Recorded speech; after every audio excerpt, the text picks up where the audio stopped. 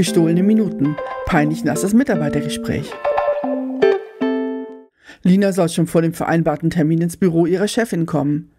Vor dem Mitarbeitergespräch ist sie aufgeregt und muss wahnsinnig nötig pieseln. Sie kann es kaum noch einhalten und rutscht unruhig auf dem Stuhl umher, bis sie schlussendlich aufgeben muss und die Vorgesetzte sie komplett eingepinkelt vor sich sitzen sieht.